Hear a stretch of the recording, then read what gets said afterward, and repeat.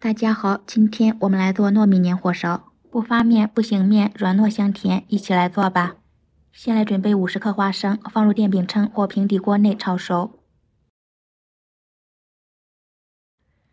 炒熟以后盛出放凉。再来准备十五克黑芝麻，同样炒熟，放凉备用。放凉后的花生搓去外皮。放入佐料机中，再加入黑芝麻，一同搅碎。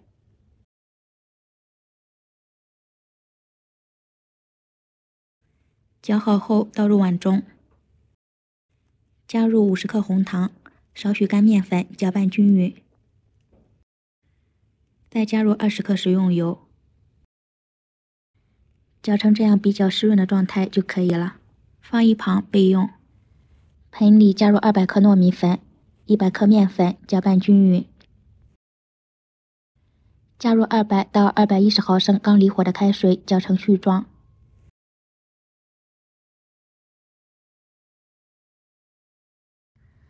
不烫手的时候，先下手抓捏成团，再揉光滑。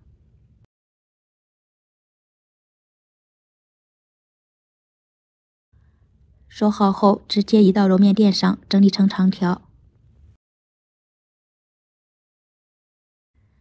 分成等份的十二个面剂，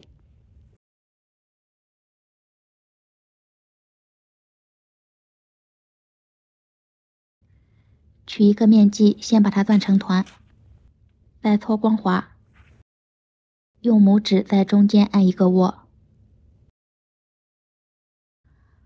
放入半勺馅料，少放一点馅，这样吃起来软糯不发硬，甜而不腻。用虎口收拢即可。最后把它搓圆、搓光滑，用掌心按压成小饼就可以了。厚度大约一厘米。电饼铛预热，刷一层油，油温微热，放入小饼，表面淋油，锁住水分，盖上盖子，中火烙饼，烙至一面金黄，翻烙另一面。